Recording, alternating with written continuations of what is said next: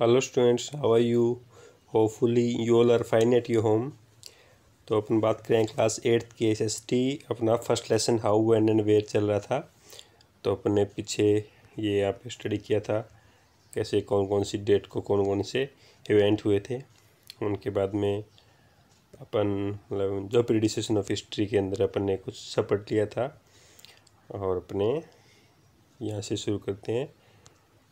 ये जो फ़र्स्ट आपका पैराग्राफ हो गया था, सेकंड हो गया था एंड ये जो थर्ड भी हो गया था। ठीक है? अपन करते हैं अभी आज फोर्थ से शुरू। ठीक है?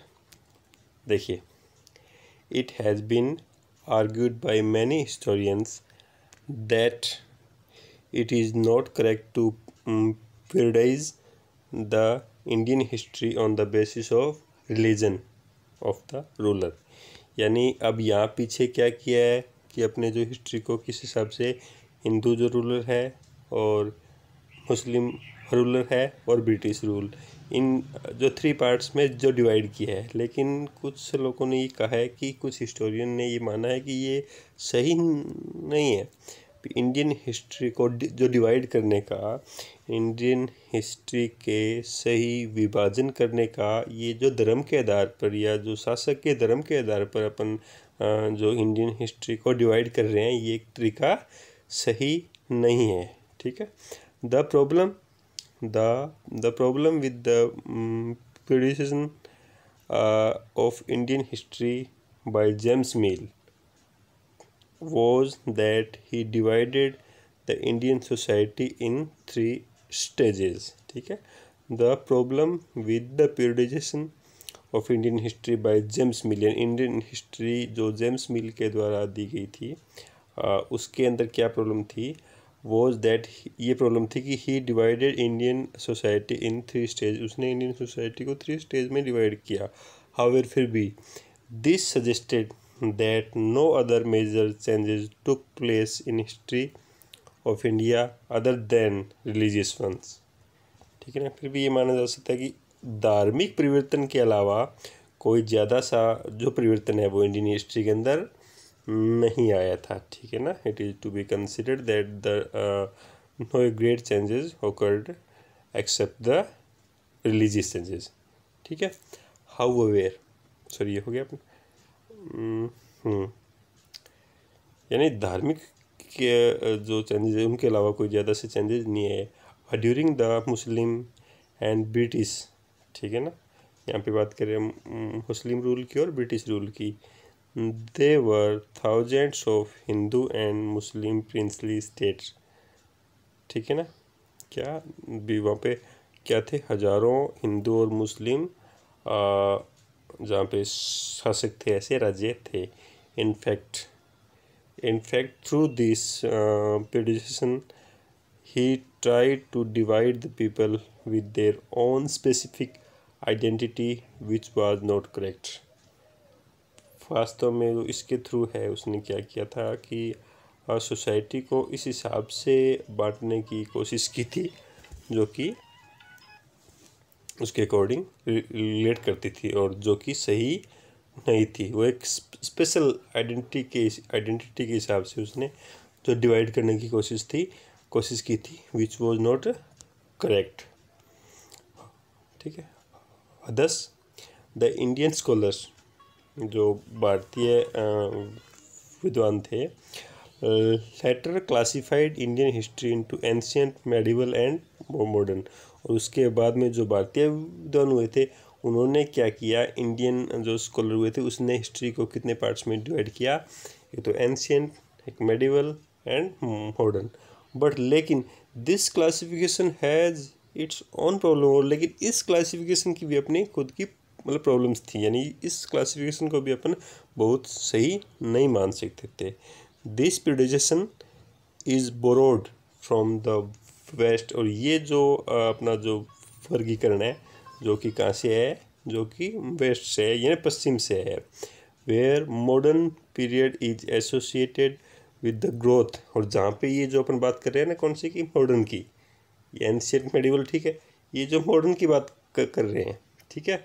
ये क्या है? period is associated with the growth and development of science, rationalism, humanism, logic, freedom and equality.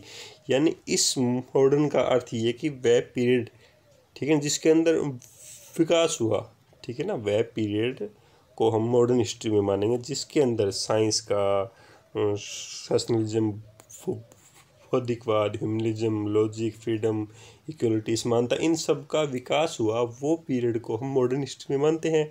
As per waste क्योंकि वहाँ की जो हिस्ट्री है, उसमें लिखी गई है उसके अंदर ये जो पीरियड आता है मॉडर्न हिस्ट्री का, उसके अंदर ये चीज़ें हुई है। लेकिन इंडिया में मॉडर्न हिस्ट्री में इस टाइप के कोई भी चेंजेज है, देखने को नहीं मिलते इसलिए ये ये माना जाता है। ये भी एक सही तरीका नहीं है प्रॉपर वे नहीं है, जो इसको हिस्ट्री के, जो ये डिवीज़न जो बांटे हैं हिस्ट्री के, जिस हिसाब से डिवाइड किया है, ये कोई प्रॉपर तरीका नहीं है।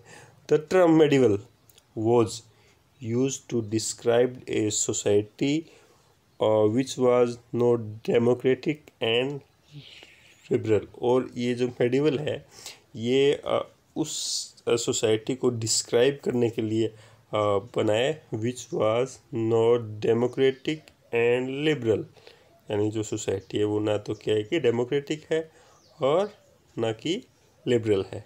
ठीक है? हाँ।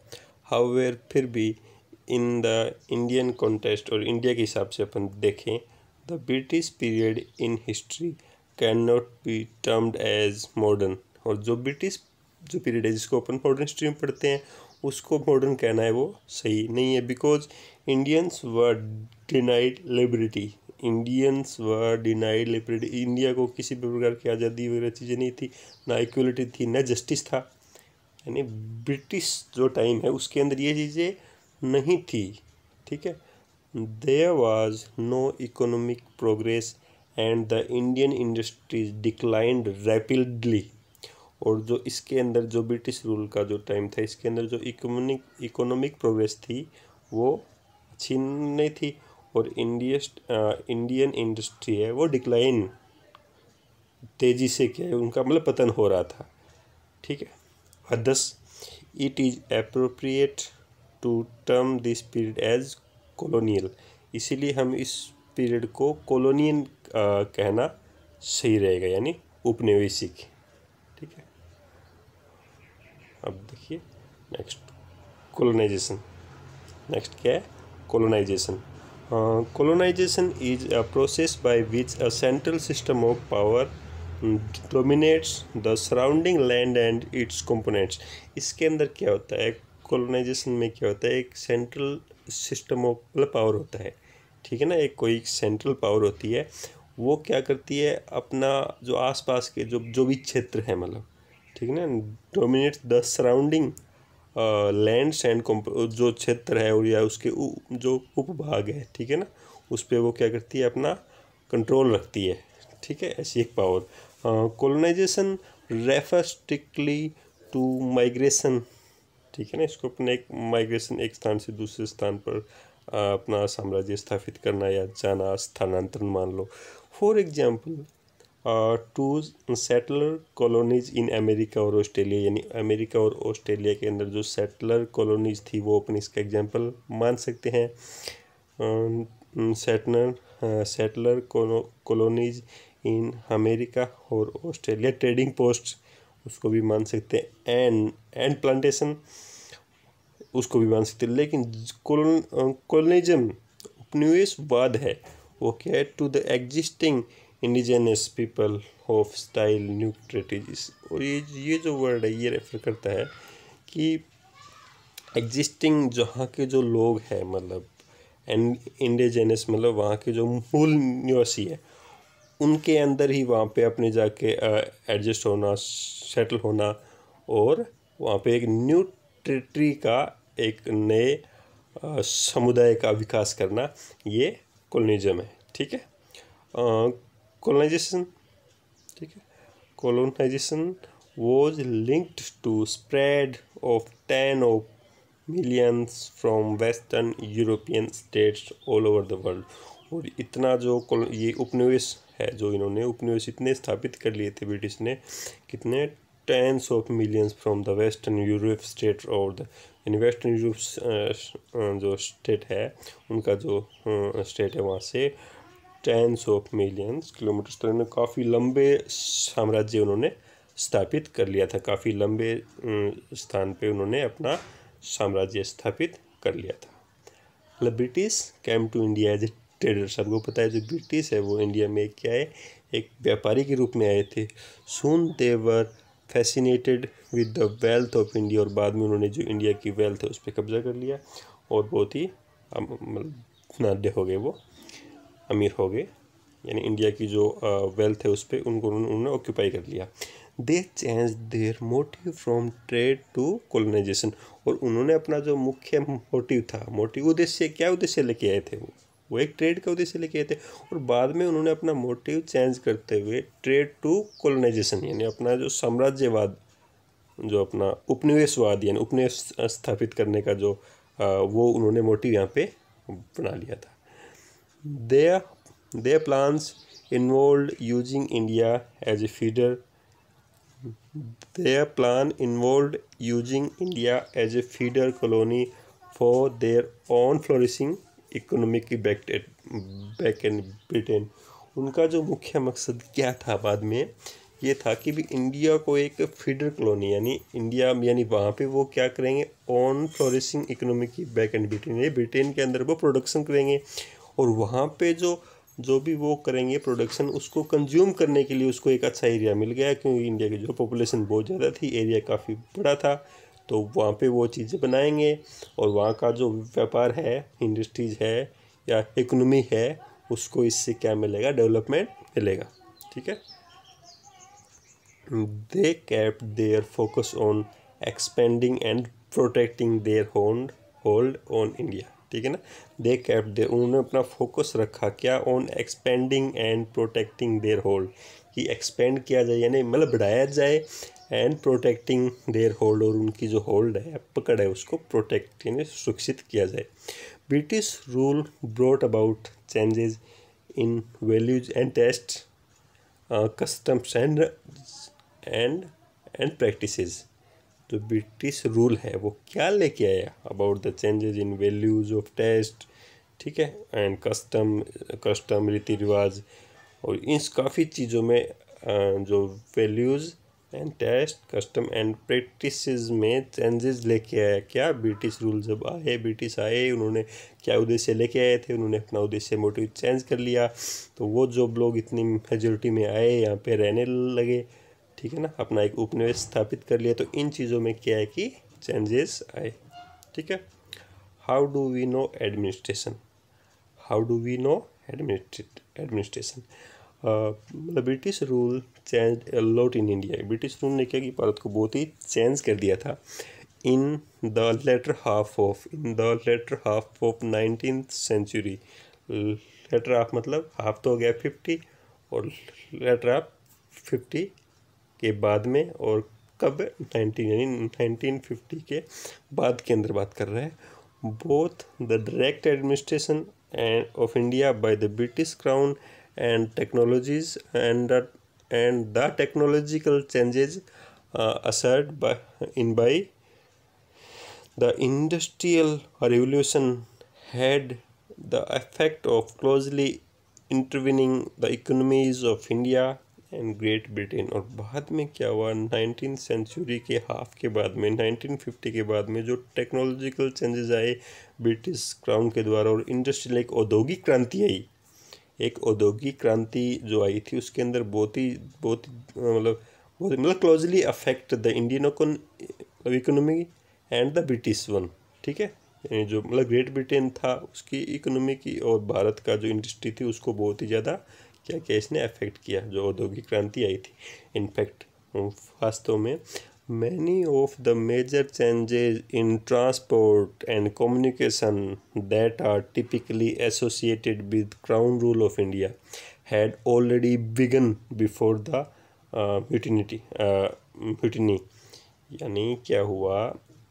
uh, बहुत ही ज़्यादा बड़े रूप में मेजर रूप में क्या हुआ? चेंजेस हुए। किस चीज़ के अंदर? एक तो जो ट्रांसपोर्ट के अंदर जो बहुत बड़ा चेंज है, एक कम्युनिकेशन यानी संचार के अंदर चेंज है। They are typically associated with the crown rule of India यानी जो जो इंडिया के अंदर क्राउन रूल था ब्रिटिश का, उससे वो संबंधित थे। हैड ऑलरेडी बिगन और ये शुरू हो चुके थे बिफोर द म्यूटिनी यानी बिफोर द उपद्रव, यानी विद्रोह, यानी 1957 का मान सकते हैं। अपन उन्नीस सौ सत्तावन की क्रांति पढ़ते हैं। यानी विद्रोह से पहले पहले इन्होंने ये चीज़ें इन चीज़ों में बहुत ज़्यादा क्या कर लिया था? इम्प्रूवमेंट कर लिया था डेवलपमेंट कर लिया था। All the changes were secured in the form of record और सारे जो चेंजेस थे, वो एक रिकॉर्ड के रूप में वो क्या करते थे? सुरक्षित रखते थे। हर चीज़ का वो क्या रखते थे? लिखित रिकॉर्ड रखते थे। These records were written these records were written by British officials to keep the track of their work and changes done in India ये सब चीज़ का क्या रखते थे? रिकॉर्ड रखते थे और इस चीज़ को ट्रैक करते थे कि उनका जो काम है वो कैसा है और जो चेंज है वो किस हिसाब से उसका क्या बेनिफिट हुआ है, क्या लॉस हुआ सारी की सारी जो चीज़ है, वो सब कुछ करते थे, वो एक रिकॉर्ड के रूप में मेंटेन रखते थे। ठीक है?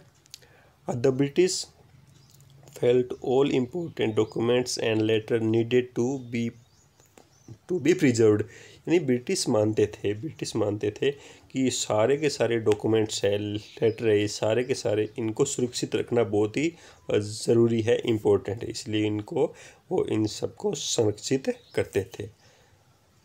स्पेशलाइज्ड इंस्टीट्यूशंस और specialised institutions like archives and museums were established to preserve important record. और important record को संरक्षित रखने के लिए बहुत ही important institution like archives and museums, अभिलेखागार, ठीक है ना? या संग्रहालय होते हैं ना म्यूज़ियम होते हैं अपने। इनको बनाया गया एस्टेब्लिश किया गया, स्थापित किया गया इम्पोर्टेंट रिकॉर्ड को रखने के लिए। Several other sources studied several other sources studied together to give a better picture of administration और एडमिनिस्ट्रेशन की बेटर पिक्चर को अपन समझने के लिए आ, और इनके क्या क्या वो सोर्सेज हैं उनको अपन मतलब पढ़ेंगे तो हमारे और ज़्यादा बेटर समझ आएगा। जैसे देखिए सोर्सेज ऑफ़ इंफॉर्मेशन ठीक है? देखिए मतलब British kept the record of everything they did यानी वो जो भी वो कुछ करते थे उनका वो क्या रखते थे? रिकॉर्ड रखते थे। These records were kept in rooms और ये जो रिकॉर्ड है वो किसमें रखा जाता था? Kept in rooms call record room यानी जिस रूम में वो अपना ये रिकॉर्ड रखते थे उसे क्या बोलते थे? Record room the records were created with the goals to preserve of the um, of the uh, uh, sorry क्या है? The records were created with the goal वो एक जो रिकॉर्ड रखते थे उनके पीछे उनका एक गोल था उद्देश्य था। वो क्या था? To preserve the original order of the records as much as possible and clarify the administration history of the record यानी उसका जो क्या मीन है क्यों हमने ये ऑर्डर निकाला यानी कोई भी उसने उसने आदेश नहीं, निकाला मान लीजिए सपोज़ दैट अपन बात करते हैं कोई भी उन्होंने एडमिनिस्ट्रेशन जो मतलब प्रशासनिक आदेश निकाला, उसके पीछे उनका क्या मोटिव है, कितना उनको इस चीज़ से बेनिफिट हुआ है? नहीं, उस चीज़ को पूरा वो सारा का सारा जो है ढांचा वो एक लिखित रूप में वो एक जो रखते थे, ठीक है? और इससे क्या है कि एडमिनिस्ट्रेटिव हिस्ट्री है वो इजीली क्लियर हो जाती है। Each series of record was assigned a letter और जो सारी जो सीरीज़ थी रिकॉर्ड की, वो assigned a letter from A to Z A to Z के रूप में होती थी, उनका एक सिस्टम होता था। And the certain series also have descriptive sub classes जैसे ए है, हो गया बी सी हो गया। अब इसके अंदर जैसे A one A two A three यानी वो सारे के सारे सिस्टम और इतनी सारी फाइल्स इतना सारा सिस्टम कैसे मतलब कैसे क्लासीफाइड वो तो इसलिए वो कैसे ए टू जेड करते थे फिर इसके अंदर भी अलग अलग सब पार्ट होते थे जिससे वो इजीली आइडेंटिफिकेशन है वो अगर बाद में करनी हो तो इजीली हो जाती थी। Official records letters memos surveys newspaper magazines autobiographies reports experience of of of travellers travelers, and poems are the some some sources of information information British rule rule uh, ठीक है? तो जो ब्रिटिश रूल या अत्याचार मान सकते हैं हमारा हम तो अत्याचारी मानेंगे उनको उसको पढ़ने के लिए उसको समझने के लिए उसको जानने के लिए ये इम्पोर्टेंट चीज़ें थी ठीक है? इन चीज़ों के थ्रू क्या कि हम ब्रिटिश रूल या अत्याचार मान सकते हैं अपन उसको जान सकते हैं भी किस हिसाब से उन्होंने रूल किया कैसे कैसे उन्होंने यहाँ पे सारी चीज़ें वो एस्टेब्लिश की ठीक है? तो ये अपना इतना चैप्टर मैंने आपको करवाया है। ये आपको अच्छे से स्टडी करना है। जो भी हार्ड मीनिंग आपको लगे तो आपको डिक्शनरी या गूगल करो आप उसको। और कम से कम तीन चार बार इसको करो अच्छे से। रीड आपको सब कुछ समझ आएगा। ईच एंड मैंने बताया था, प्रत्येक पैसेज प्रत्येक लाइन में इंपॉर्टेंट क्वेश्चन आते हैं।